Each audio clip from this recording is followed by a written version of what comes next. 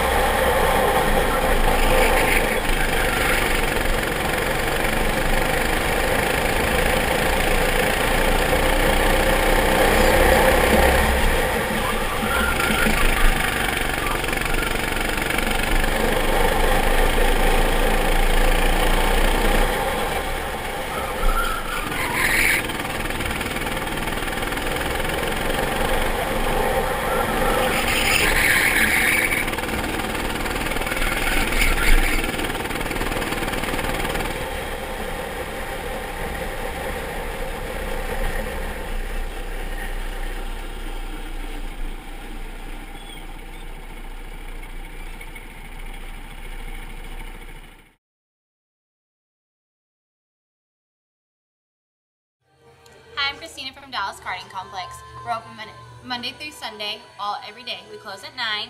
We do races like special races Monday and Thursdays, fifteen dollar races, and any other days we do like big specials. If you want to point right up here, they're like for certain packages, and then we do a membership package for a hundred dollars. Cool. That looks good. All right, Christine, Appreciate your time. Thank you.